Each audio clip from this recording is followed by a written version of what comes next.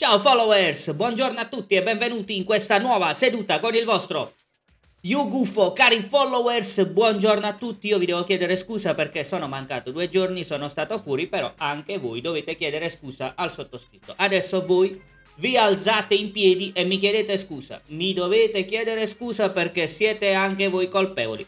Mi avete tolto il sogno europeo di vincere l'europeo. Non vi posso lasciare da soli neanche due giorni che voi, capitanati da Gabri Gravina, avete fatto una bella figura di merendina all'europeo. Eh? Usciamo contro la Svizzera.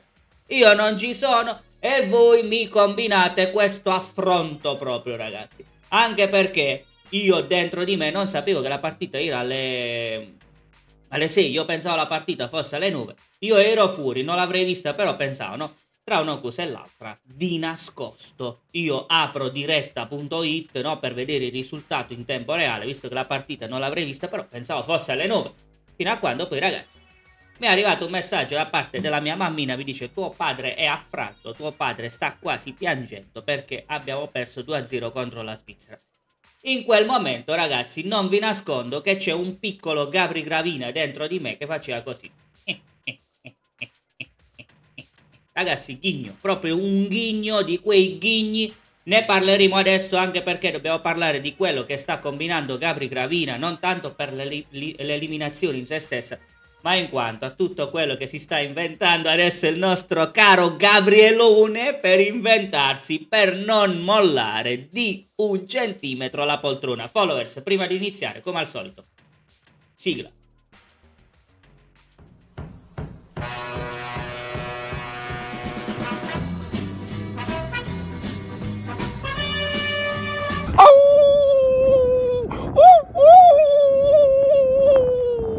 Cari followers, Gabri Gravina ci fa sapere avanti tutta con il progetto, io non mi dimetto e attenzione perché io non scappo davanti ai problemi ma li risolvo con il lavoro. Allora, innanzitutto il lavoro, parliamo di questo, è un lavoro di merda perché visti i risultati che abbiamo ottenuto, se risultati si possono chiamare, abbiamo fatto una bella figura di merendina. Poi, quando lui parla di progetto, quale progetto? Dove sta il progetto? Il progetto non esiste. Perché per fare una figura di merda come quella che abbiamo fatto noi, dove una piccola svizzera con Freuler prende la sacca scrotale e te lo appoggi in testa, voglio dire, risultati, progetto proprio, io non ne vedo. Poi tutti che si stanno arrabbiando con Spalletti, Spalletti, Spalletti, Spalletti non ha colpe, Spalletti non ha mai vinto una ceppa in carriera. Lui, quell'anno che hanno deciso a tavolino che doveva vincere lo scudetto il Napoli, lui si è trovato lì e ha fatto adesso lo sbruffone, fa così, che deve dare la mano ad Allegri per far vedere quanto è pirla. Alla fine lui non c'entra niente, non è mai stato vincente, a parte che quell'anno hanno deciso a tavolino che doveva vincere il Napoli e lui era lì e lo ha vinto. Molto meglio della cartonese perché i prescritti l'anno successivo, ossia l'anno scorso, hanno detto deve vincere il Napoli quest'anno, eh, deve vincere l'Inter quest'anno, hanno deciso. E l'Inter non ce la faceva, neanche con l'aiutino. Hanno dovuto montare la Marotta League, hanno dovuto invol- in- coinvolgere eh, la VAR di Rocchi, aiutino ogni cazzo di partita, perché sennò questi non erano nemmeno in grado di vincere il campionato. Però ragazzi non si tratta di questo.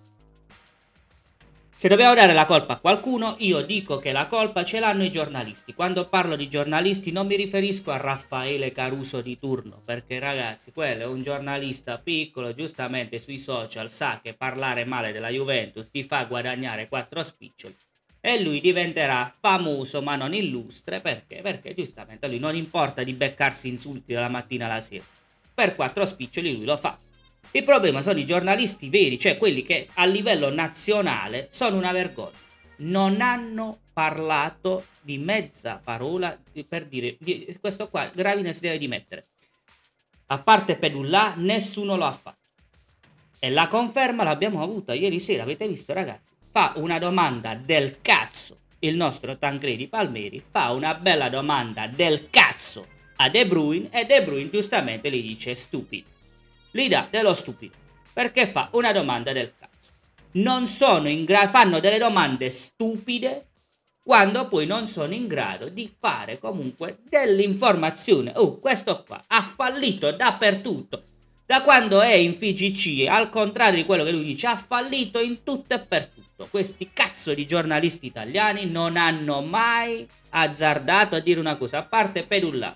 Nessuno ha detto Gravina si deve dimettere. Giornalisti italiani, voi siete la causa numero uno eh, di questo, siete i responsabili, perché Gravina può fare quello che vuole, lui si può attaccare alla poltrona, lui lo farà perché lui è così, è avido di soldi, avido di potere. Voi avete permesso che il calcio italiano cadesse nel baratro più profondo. Voi, perché siete dei corrotti e siete dei venduti. La colpa è vostra. Voi, giornalisti italiani, vi dovete vergognare. Siete i primi responsabili di questo scempio. Giornalista italiano, vergognati. Ti sei venduto per un tozzo di pane. Sei una vergogna. Tu, giornalista italiano, sei la causa numero uno, sei il responsabile numero uno di questo scempio calcistico che abbiamo visto all'Europeo. Vergogna. A parte questa cosa che volevo dire del giornalismo italiano, dove giustamente loro dicono che Gabri Gravina sono il migliore da quando esiste la FIGC, io sono quello che ha fatto meglio di tutti, siamo i più bravi. Allora, stadi nuovi non ne ha costruiti, numero uno. Poi siamo stati comunque come nazionale italiana, siamo stati proprio lo zimbello d'Europa e del mondo. Ogni cazzo di competizione ci sta, a parte quella, quell'episodio strano che siamo riusciti a portare a casa gli europei, lì sì che l'abbiamo portata a casa grazie al blocco di una squadra in Italia, ma lasciamo stare, lasciamo stare questa cosa. Stadi nuovi non ne ha costruiti. Devo fare le riforme. Ormai la riforma non può più attendere. Faremo la riforma sicuramente adesso. No, no, ma proprio mo, vedi, ma proprio mo stavo telefonando a casa. Adesso devo fare la, la riforma. Come chiudo la chiamata con mia madre che mi sta preparando i biscotti alla Nutella e dopo facciamo la riforma. Adesso, proprio imminente, riforma, riforma. Non ha riformato una mazza. Ha fatto delle norme ad hoc per salvare alcune squadre e hanno fatto delle norme ad hoc per punire la squadra che di fatto era quella più avanti di tutte in Italia, la Juventus. Perché deve vincere ogni anno una squadra diversa. Ve la siete inventate, avete fatto di tutto per punire, per mettere i bastoni tra le ruote, per rallentare, per castigare, per affossare la Juventus. E poi avete fatto delle norme ad hoc per salvare i cartonati che non hanno una lira che non si possono iscrivere. Avete rovinato la Covisoc, vi siete infiltrati pure lì, quando la Covisoc io non lo so se prima funzionava o meno. Fatto sta che adesso la Covisoc è diventata una barzelletta e si sono pure dimessi. Perché siete arrivati pure lì ad infiltrarvi con la Covisoc, che dove c'è un presidente che è in galera, gli tolgono il passaporto, ha fatto buffi a destra e a manca, ha dei debiti dappertutto, lo cerca tutto il mondo. Questo sta in galera, non ha il passaporto e tu, quello della Covisoc, solo tu riesci ad immaginare che questo qui può dare una continuità aziendale. Solo tu della Covisoc. Dove tra l'altro c'è una piccola differenza. Io che sono un tifoso cartonato da quattro soldi posso pure andare nel bar e dire la Juve ruba, noi siamo bravi, abbiamo continuità aziendale. Quello lo può fare perché un tifoso da quattro soldi. Tu, il tuo lavoro, il motivo per il quale tu rubi lo stipendio è per controllare questi cazzo di conti di questa squadra. E non ne sei capace. Tu della Covisot. Bravo Gabri Gravini. Un altro applauso per Gabri Gravi. Oh, comunque complimenti perché effettivamente avete pure beccato una bella multina di 4 milioni di euro. Questa volta non è come Barella. Barella 80 milioni e parlate del vecchio conio, come dice l'imbecille tifoso della, della vostra squadra. Non è il vecchio conio, sono 4 milioni di euro di multa per aver, ve lo dico subito, l'antitrust infligge alla FIGC una, una FIGC vuol dire Federazione Interista Gioco Cartonato 4 milioni di euro per abuso di posizione dominante. Dal 1 luglio 2015 fino ad oggi Secondo l'Authority, la federazione ha attuato una complessa strategia escludente per rafforzare la propria posizione dominante nell'organizzazione di competizioni calcistiche giovanili a carattere agonistico.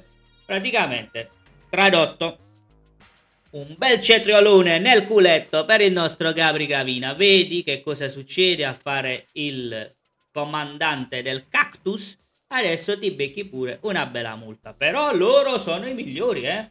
Da quando c'è la FGC, lui è quello che ha fatto meglio di tutto. Poi, vabbè, la multina, dai. Chi, chi, chi volete che non prenda una piccola multina per eccesso di velocità? Alla fine, stiamo lì, eh? È la stessa cosa. Per non parlare poi della Marotta League questi bei calendari che hanno fatto, tutti per favorire un'unica squadra. Chissà quale, eh? noi non diciamo nulla, eh? perché poi non voglio che si parli di Marotta League, non diciamo quale squadra hanno favorito. Eh? Bravo, complimenti Gravino, un altro punto a favore, senza poi parlare di quel poco che restava degli abbonamenti de, da Zone, di Sky, quella roba lì. Ah, la pirateria, adesso noi combattiamo la pirateria. Avete raso al suolo il numero dei pochi abbonati che vi rimaneva. Vogliamo parlare poi di quello che succede con questa storia del, dei diritti della televisione. I bei risultati che hanno ottenuto eh, ci facciamo il nostro proprio canale. Adesso la Liga, la Lega Italiana avrà il suo proprio canale dedicato. Noi non abbiamo bisogno di nessuno. Avete avuto delle offerte a ribasso. Non era mai successo prima, eh? Complimenti.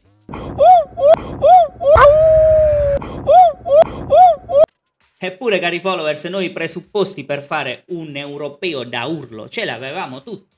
E alla fine c'era Marotta che accompagnava sempre la squadra e giustamente noi furbescamente abbiamo pensato questo si porta la sala VAR da Lissone, si porta Rocchi con tutta la combriccola e alla fine ragazzi vedrai che Barella allenatissimo per, per buttarsi sempre per terra li fanno così col dito, gli danno il rigore alla nazionale, invece no ragazzi, purtroppo non ha funzionato, neanche Marotta ha funzionato bene, però ragazzi il nostro giornalista che per antonomasia, abbiamo detto prima, si sta impegnando per essere praticamente quello che fa, il giornalista che fa le figure di merda in numero, in quantità superiore di gran lunga a tutti quegli altri. Ed è lui, il Raffaleone Caruso, che lui diceva, uh, Barella, ci farà vincere sicuramente europeo da solo, però se non gli mettono i bastoni tra le ruote, questo il turno ce lo fa passare perché è fortissimo ci credeva il Raffaelazzo, ci credeva, però purtroppo ragazzi alla fine non si è verificato il sogno di Raffaelone, però alla fine ragazzi avevamo anche questa, avevamo Lele Adani da parte nostra, dalla nostra, lui che dice sempre che quello che dice si avvera sempre, dicevo, vedi che Spalletti alla fine è la migliore scelta.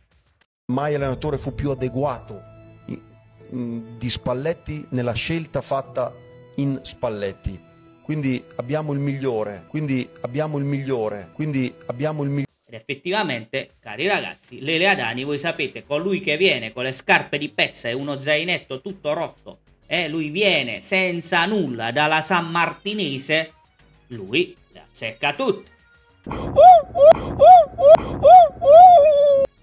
Cari followers, la seduta con il vostro Yugufo termina qui. Io vi ricordo il momento tenerezza, è importante l'iscrizione al canale. Siamo quasi arrivati a quota 2000 iscritti. Vi ricordo che chi non si iscrive al canale, ragazzi, è uno stupido certificato De Bruyne come il nostro Tancredi Palmeri. Mm, yeah.